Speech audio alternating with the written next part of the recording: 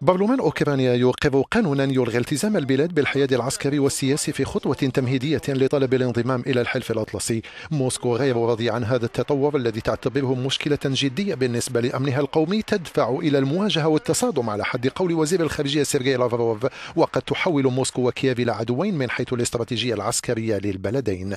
هذا النائب الأوكراني سعيد بالقانون الجديد. إلغاء قانون التزام عدم الانحياز يوضح من نحن وإلى أين نريد أن نذهب وما هي غايتنا؟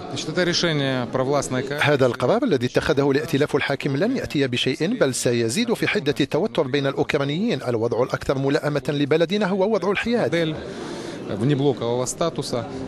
ماريا كورينيوك مراسلة يورنيوز من كييف تقول إلغاء قانون التزام الحياد لا يضمن لأوكرانيا الانضمام الفوري للحلف الأطلسي وللتوفر على المقاييس التي يشترطها الحلف يتعين على الحكومة الأوكرانية أن تقوم بعمل كبير قبل كل شيء يجب أن تطور جيشها وفق معايير الحلف الأطلسي وتقنع الدول الأعضاء في الحلف بأن مكان أوكرانيا في تكتل الأورو أطلسي في هذا السياق يتعين على كييف أن ترفع عدد عناصر قوتها المسلحة وأن يصبح سن التجنيد في الخدمة العسكرية في العشرين من العمر وليس الثامنة عشرة. مع بداية العام خمسون ألف مجند احتياطي سيلتحقون بالخدمة العسكرية لمدة عام ونصف العام.